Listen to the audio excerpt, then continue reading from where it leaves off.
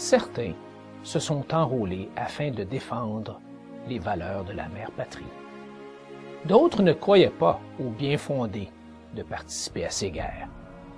Ils ont été enrôlés de force, parfois même traqués au milieu de la nuit par la police militaire, afin de subir un entraînement militaire de base.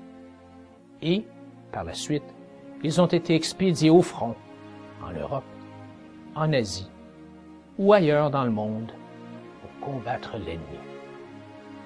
Peu importe leur réalité, qu'ils se soient portés volontaires ou non, peu importe. Ces hommes et ces femmes ont vécu des moments horrifiants. Ils ont été témoins du pire et du meilleur que peut offrir l'expérience humaine. Ils ont tout donné, leur quiétude, leur paix intérieure, leur innocence, leur intégrité physique, et certains ont même payé le prix ultime de leur vie.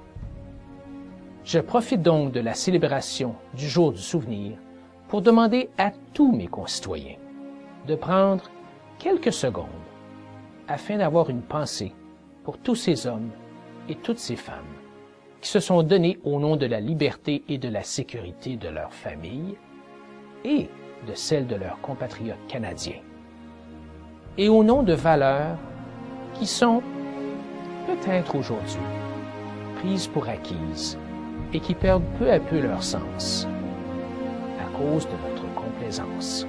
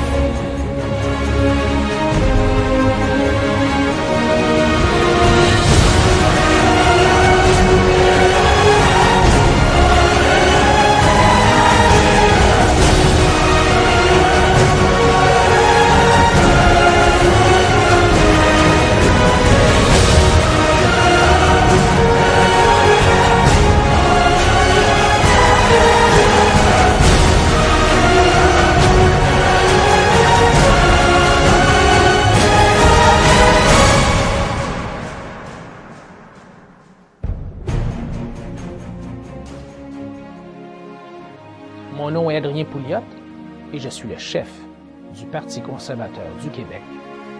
À la prochaine fois.